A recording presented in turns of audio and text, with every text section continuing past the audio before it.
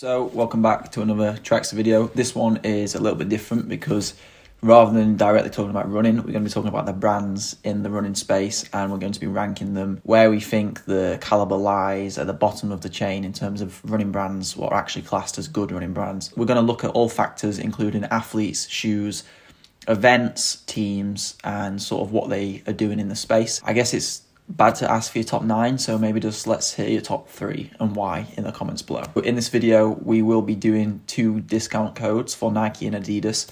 So it's first come, first serve. So if you find the discount code, just try it and see if it works. If not, someone else will have already used it. So in ninth place, we have Hoka. And even though Hoka probably have some of the best selling shoes on the planet in the Clifton, I think in terms of innovation, they are the worst out of the top nine running brands.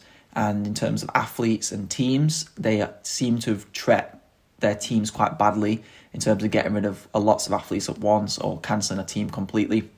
And also, yes, the Clifton is still a very popular shoe, but I think that is because people aren't fixing what isn't broken.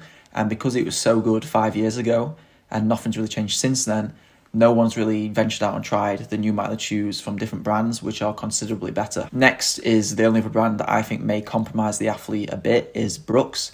And again, probably the best selling mileage shoe on the planet in the Brooks Ghost. It is a good solid mileage shoe, and all in all, their mileage shoes are better than Hoka's in my opinion.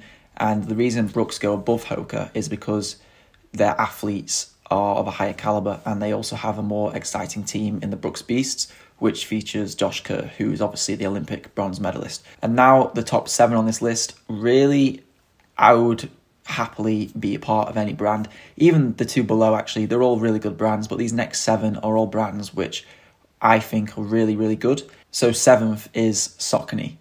And I know that is quite controversial because their endorphin range is probably one of the best all around shoe lineups in the world with the endorphin speed, the endorphin shift, and the endorphin pro. And they also have some more shoes coming out next year, which look very promising. In terms of events and athletes, I couldn't really name many Saucony athletes, and I also couldn't really name any events or notable performances they have done in the past. And that's why they are ranked seventh on the list. Sixth is On, and On have been making huge innovations in the running world, and the fact that they're sixth on this list after being such a young company is ridiculous. And the reason they are sixth is because I still don't think they're quite established in terms of a full range of shoes. Even though their new shoes are considerably better than their previous shoes, I just think they need to carry on releasing some new shoes like the Cloud Monster and like their prototype spikes, what they are what's on the feet of athletes, which feel absolutely amazing in person, and also their athletes and their team in OAC with the likes of Joe Klecker, Hellen Obiri is a new addition, and they've got a European team now as well, as well as the podcast side of things. And they just seem to be doing a lot in the running community. Next on this list is Puma. Puma have the likes of Karsten Warholm and Mondo Duplantis. So you've got world record holders and Olympic champions, both of them. And Puma's shoes, they are there's a lot of them first of all and they're quite confusing and that's maybe why i've put them as low as they are because i couldn't actually tell you which puma shoes to buy their new innovations in shoes and their shoes what are out in the last year are as good as any other brand out there. I think they might lack in the training shoe department, but racing shoe department and athletes, they are up there with all the rest of the brands. I would like to see more from a team aspect as well as events or marketing side of things. Okay, so the top four is where it gets amazing. Basically, all of these brands are the top of the sport for a reason, and I rate them extremely highly. And fourth is Asics. And Asics are fourth for me because the only thing that lets them down from being in the top two or the top three is their athletes because there are very few and far between. Like you can't really name many big name athletes who run for Asics. Yes, you've got Eilish McColgan. Yes, you've got Mo Katir. But other than that, really, you know, there's not too many.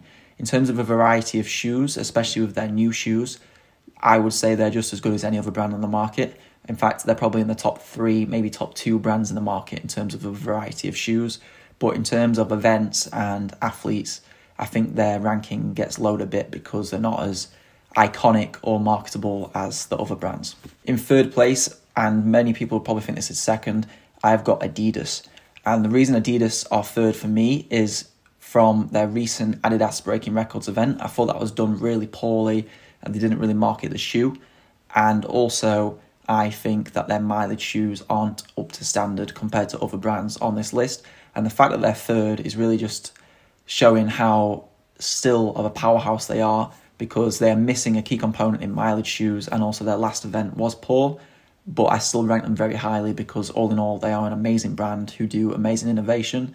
But because of those factors, I've lowered them down, probably down one place from where I would normally have them uh, most of the time. In second place, I have New Balance. And New Balance, in terms of athletes, have the likes of Sydney McLaughlin, have a very good middle distance and distance range. And also, they now have the best long distance spike and arguably the best super spike I've heard from a lot of people in the New Balance LDX or whatever it's called. It's the Fuel Cell LD, so it's their distance spike. Apparently, it's the best spike on the market. They also have innovations in super shoes We have a training shoe, what looks amazing, a racing shoe, which is amazing, and a road flat. They also have events like the opening of the track in Boston, I think it was, and Jack Harlow performed at it. So, all in all, they have got a really rounded company and they have probably the most famous or most worthy of a contract athlete on the planet at the minute in Sydney McLaughlin as their main sort of athlete, and it's pretty hard to beat Sydney McLaughlin in terms of marketability. And first is probably the obvious, and that is Nike. And it goes without saying, in terms of super shoes, mileage shoes, and training shoes, they have the most versatile lineup. You've got mileage shoes, you've got the Vomero, you've got the Structure, you've got the Pegasus, you've got the Infinity React, you've got the Invincible. For training shoes, you've got the Tempo Next Percent, you've got the Zoom Fly, you've got the Pegasus Nature Next Percent coming out soon, you've got the new Zoom Fly 5 coming out soon. Racing shoes, you've got the Streak Fly, which also could be a training shoe, you've got the Next Percent, and you've got the Alpha Fly and Alpha Fly 2. So, in terms of versatility, it is phenomenal. And then you've also got track shoes, which what they've got like four super spikes now. Um, so it goes without saying they have the biggest athletes, they have the best shoes, and they do the most with the running community. How they're sponsoring diamond leagues, the athletes are always doing content, and I mean, everywhere you look in the running world, it is Nike or Nike related. So it's hard to not put them first on this list. So yeah, thanks for watching. Please like and subscribe and comment what videos you want to see next.